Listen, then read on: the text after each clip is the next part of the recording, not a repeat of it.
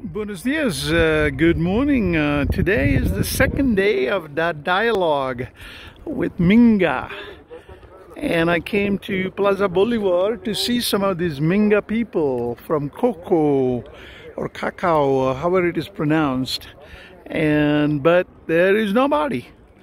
And they have draped all the monuments and uh, draped black cloth over uh, the buildings to stop vandalism but it's a beautiful morning. I mean, uh, they should have the marches today, unlike yesterday when it was cold and wet.